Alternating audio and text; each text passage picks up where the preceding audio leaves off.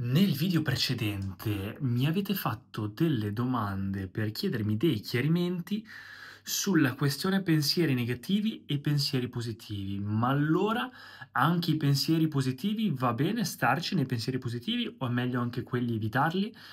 E i pensieri negativi come funzionano? Quindi volevo un po' darvi una delucidazione su questo argomento.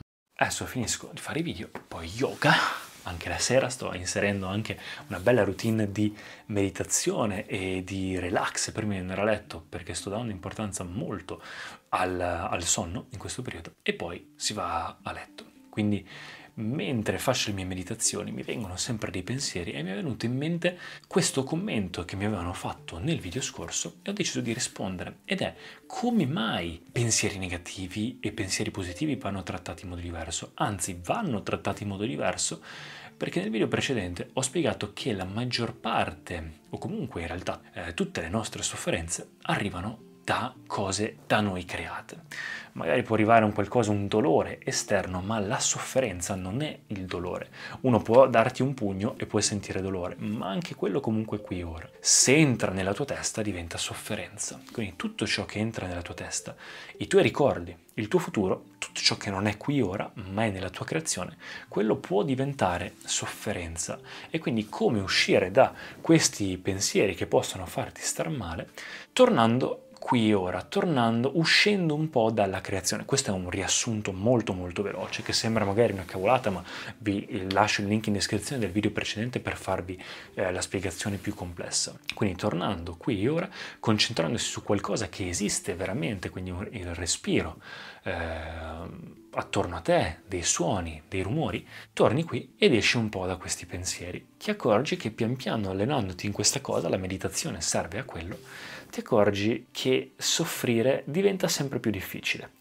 Perché? Perché ti accorgi che è la tua testa che non lo fa apposta, ma i pensieri che crea, diciamo che non creandoli consciamente, quindi non sapendo quello che stai facendo come uno strumento utilizzato un po' a caso, crea per moltiplicazione. E quindi tendenzialmente le cose che ci entrano più in testa sono quelle negative o, cose, o, o problemi, cose che ci preoccupano e quindi moltiplicando quelle ovviamente inizia a, ad essere un problema, inizia a entrare nella tua creazione, nella tua testa sempre di più fino a che diventa un problema.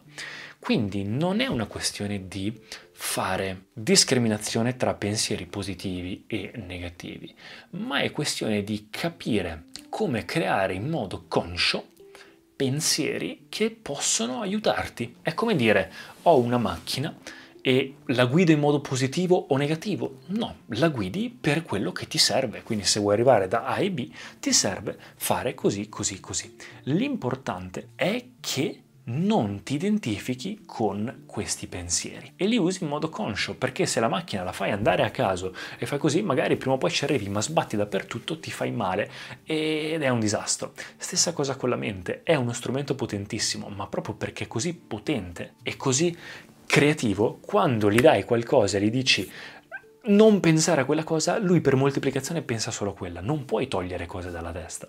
È come una fabbrica dati che continua a lavorare su dati che tu gli poni. Quindi l'importante è vederlo come strumento, ma non entrarci perché se cerchi di risolvere i problemi della mente rimanendo nella mente, non ce la farai mai. Devi uscire e vedere questo strumento da fuori, avere della prospettiva.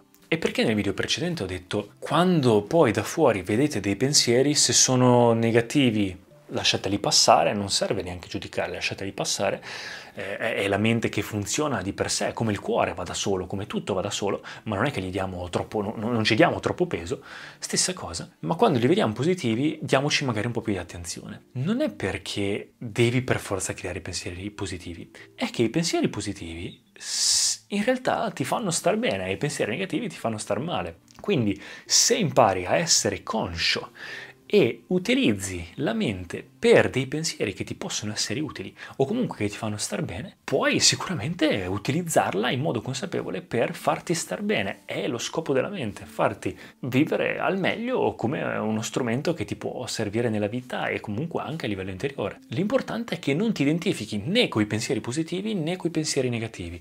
Quindi nel dubbio tu puoi semplicemente evitare tutto come parte di te Ma quando hai un po' più di maestria in questa cosa, ti accorgi che puoi, un po' come quando tocchi col piede nella, nella, nella piscina per vedere se è calda o fredda, puoi un po' divertirti con questi pensieri, dato che non, sono, non sei più così attaccato a questi pensieri, non sei più identificato con essi, che anche un pensiero di rabbia, un pensiero negativo, un pensiero di frustrazione, anche pensieri negativi, puoi avvicinartici un po' per osservarli, studiarli, vederli, magari anche da dove arrivano, capirli, ma senza essere toccato e avvelenato da essi.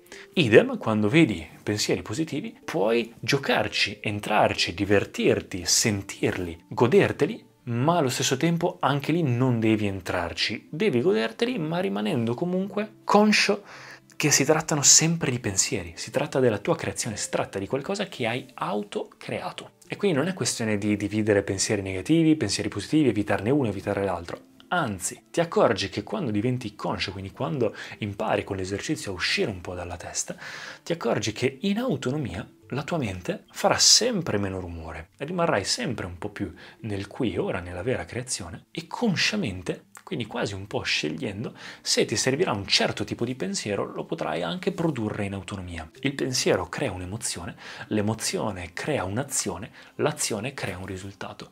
Quindi potenzialmente diventi veramente padrone del tuo destino nel momento in cui sai rispondere a delle circostanze con dei pensieri che scegli tu invece che reagendo compulsivamente. Tutta la sofferenza arriva da qui. Tutta l'ignoranza arriva da qui, tutto lo star male arriva da questa semplice cosa. Lo yoga, quindi l'unione dal sanscrito, la felicità, l'inclusività arriva tutto in modo automatico nel momento in cui scegli e sei consapevole. Perché? Perché se puoi scegliere, se sei consapevole di scegliere i tuoi pensieri, non importa quello che accade fuori, le circostanze, se puoi scegliere, scegli un qualcosa, un pensiero negativo che ti avvelena o ti fa star male, o un qualcosa che comunque ti può far star bene, o non serve che ti fa star bene, ma almeno ti fa risolvere quella cosa nel migliore dei modi. Se puoi scegliere, certo che scegli di star bene.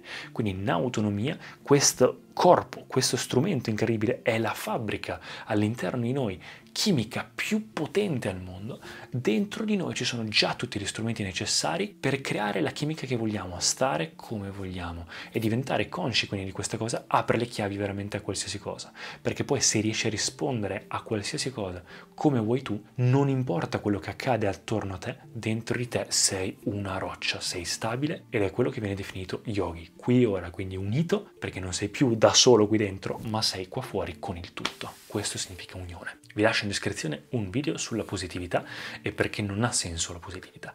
Fatemi sapere cosa ne pensate, per qualsiasi domanda scrivetemi su Instagram, Marco del 97, ci vediamo al prossimo video.